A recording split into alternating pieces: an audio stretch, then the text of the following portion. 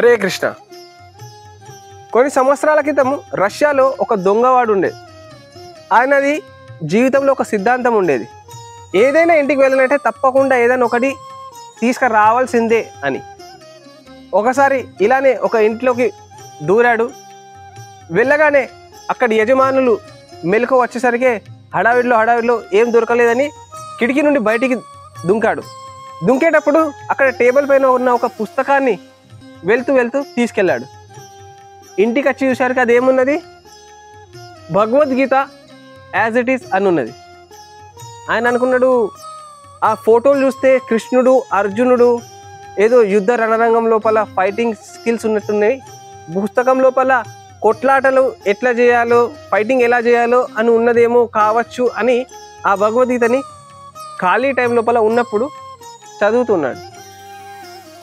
కొన్ని రోజులైంది వాళ్ళ భార్య గమనిస్తుందరే ప్రతిసారి మా ఆయన ప్రతిరోజు డ్యూటీకి ఆన్ టైం వెళ్తుంది.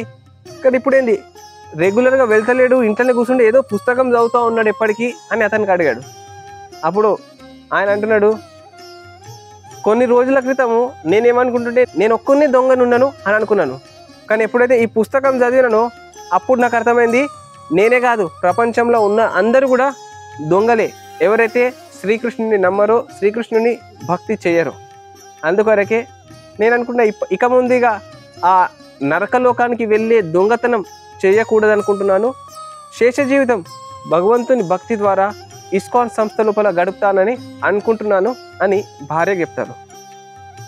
ఆమె కూడా ఆ పుస్తకం చదివిన తర్వాత హృదయంలో పరివర్తన తీసుకొచ్చి సరే నేను కూడా మీకు సహకరిస్తారని ఇద్దరు కలిసి హరే కృష్ణ మూమెంట్ లోపల భగవంతుని భక్తి లోపల జాయిన్ అయ్యారు. ఇది తెలిసిన అతని మామగారు కొన్ని రోజుల తర్వాత వచ్చారే. అల్లుడు గారు ఏం చేస్తున్నారు? నా పరువు ప్రతిష్ట అంతా మంట కలుపుతున్నారు. మన వంశవృత్తి ఉన్నది దొంగతనం చేయడం. ఇది పక్కకు పెట్టి మీరు ఏదో ఇతర మతస్థులకి వెళ్తున్నారు. ఇది బాగలేదు అని చెప్పారు. అప్పుడు ఆయన అంటున్నాడు మామగారు మేమైతే నిశ్చయించుకున్నాము శేష జీవితం ఇలాగే గడపాలని.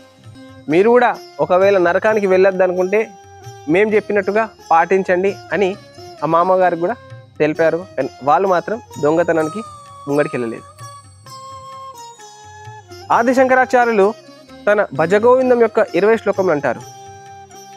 భగవత గీత కించిదీత గంగా జలలవ కనికా పీత సకృదపియేన మురారి సమర్చ క్రియతే తస్య చర్చ భగవద్గీత కించిదీత ఎవరైనా జీవితంలో భగవద్గీత కొద్దిగానన్నా తెలుసుకొని ఆచరించినట్లయితే భగవద్గీత కించిదీత గంగా జలలవ కనికాపీత ఒక్కసారైనా జీవితంలో గంగ జలాన్ని సేవించినట్లయితే సకృదపి ఏన మురారి సమర్చ శ్రీకృష్ణుని జీవితంలో నిర్మల హృదయంతో ఒక్కసారైనా పూజ చేసినట్టయితే క్రియతే తస్యయమేన చర్చ.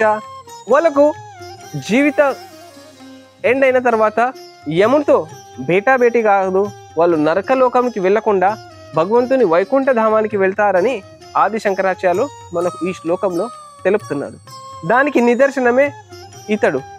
కేవలం ఒక్కసారి భగవద్గీతను చక్కగా చదివాడు తన జీవితంలో మార్పు తెచ్చుకొని భగవంతుని వైపు తన జీవితపు దిశను మార్చుకున్నాడు. అదే విధంగా మనం కూడా నిర్మల హృదయంతో టైం ఉన్నప్పుడు భగవద్గీత చదవాలి దాన్ని ఆచరించాలి ఇంకా భగవంతుని నామ కీర్తన హరే కృష్ణ హరే కృష్ణ కృష్ణ కృష్ణ హరే హరే హరే రామ హరే రామ రామ రామ హరే హరే ఈ మంత్రాన్ని జపిస్తూ మన బండిని కూడా భగవంతుని వైకుంఠం వరకు మళ్ళించాలి. హరే కృష్ణ.